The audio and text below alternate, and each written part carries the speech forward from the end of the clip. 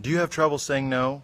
If you're like many people who challenged are challenged with that, listen on. Hi, if we haven't met before, my name is John Ruman. I'm a business and life coach and I work with people challenged with finding their own sovereignty and their own empowerment and helping themselves get over that so they're no longer overwhelmed, overworked, and stressed and enjoying a life of freedom and happiness.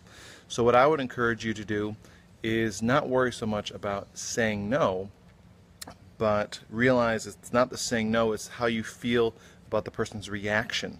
So if this is something that resonates with you and you find yourself in a situation where you're challenged with saying no, the important thing is to realize that you are not challenged by saying no because it, if you don't want to do it, that's the most amazing thing you can do.